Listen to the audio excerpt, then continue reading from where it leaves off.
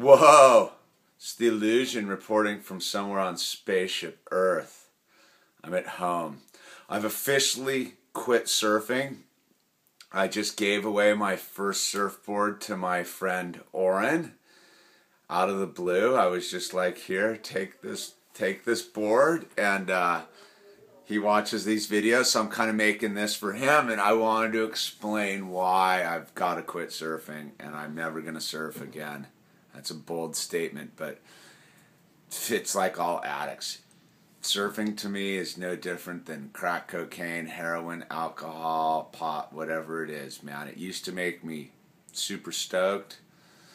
It used to fill my life with joy. It used to take me away from my own head.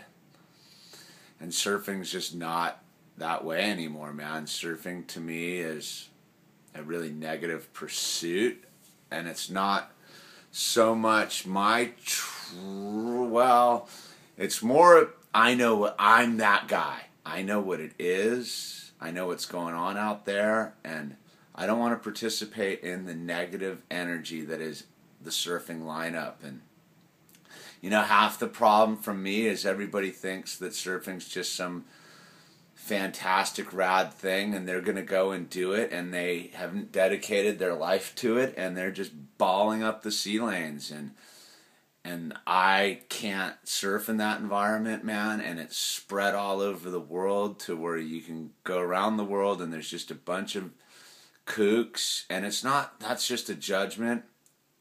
Everyone's just doing their thing, but I can't. I can't do my thing. Like that's the thing. Everybody just doing their thing has made it so I can't do my thing. And so instead of me being in resistance to it all and trying to figure it out and just having more unhappy experiences in the ocean, I've decided to just turn in my boards, man. I'm turning in my boards. And my buddy Oren wanted me to explain my moment of clarity about this. And this is what it is. So yesterday I was yesterday the supposed end of the world. I was down at work and I was putting on bolting on these ledgers underneath this building and my buddy comes by who's the electrician and he's like it was about one o'clock in the afternoon. He's like, dude, Strand was going off this morning. There were stand up barrels and the whole thing. And I'm going up to Rincon. And I was like, what are you doing here and why are you telling me this, man? Can't you see I'm working right now? And he's like, I just wanted to see if you want to go surf. And I'm like, fuck you, man. Get the fuck away. And like, pissed. I can even be pissed right now about it, man. I'm just like, get away from me, man. And like five minutes later, I had the moment of clarity where I was like, whoa, bro. Like, I was enjoying myself at work, doing my thing all day long. One bro comes up, says, Hey, six hours ago, the waves were going off and you missed it. And it ruined my morning. Like, retroactively ruined my day. And I was like, looking at myself, and I separated myself from myself, and I was like, How is that even possible? How could something that occurred six hours ago ruin my now? And I was like, whoa, I have this crazy addictive attachment to surfing. And I can't get my fix, man. Surfing to me has become like trying to scrape a pipe, dude. It's it's the the bottom of, of the addiction scale for me right now. Every now and then I go get a big bell ringer, the ultimate bong hit, or the perfect buzz, but 90% of the time it's just scraping pipes or looking for a shard of crack in a carpet with an asbestos ceiling above my head. It's it's just such a bummer, dude, and I get so bummed and so depressed because all I really want to do in life is go surfing and I just can't break free of this 3D landscape of the hologram. My somehow I I wrote a really bad thing into my dream about it, man. I, and I and I can't wake up from it, and I can't break free from it. So the only way I figure that I'm ever gonna get get to it is to surrender it all, and I'm giving my boards away. I gave my first one. It's hard, bro. It was hard to give my board away. My bro's like, even like, are you sure, dude? And I'm like, it's don't ever. He's like, you can't have it back. And I go, I don't want it back, man. And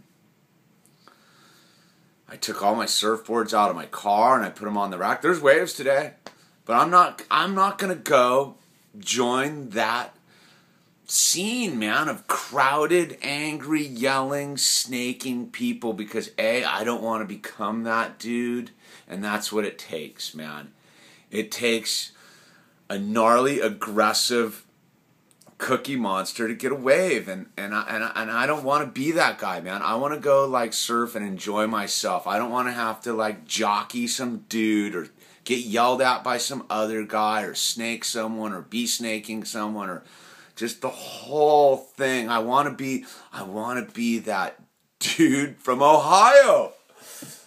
Surf Ohio, man. Those guys got it going on, dude. I I envy those guys sitting in Ohio surfing, man. They've got it figured out, man. The waves suck and they're having a good time and they're all sharing it and the waves here are good, but the whole scene sucks and I know it's just my own thing, but I don't know. Maybe I don't know what to do about it. I'm just I gotta stop being participating in it. This doesn't happen to me when I ride my skateboard. There's no negative trip when I'm riding my skateboard. I don't come back from a skate session all horrified. And surfing sessions, I come back horrified. And, and so it's funny because some of the good surfing sessions, I've been just the full brutal beast and just gone on a rampage and and probably made other people's surfing sessions suck. So, like, where is that? The chain of pain's got to stop somewhere, and I'm stopping it with me, man. So, I am no longer. I know I'm not going to be able to escape my diction and the way I speak and stuff, but as far as the illusion goes, I'm no longer a surfer, man. I don't ever want to surf again. Wow, that's radical, man. I know this is kind of a weird.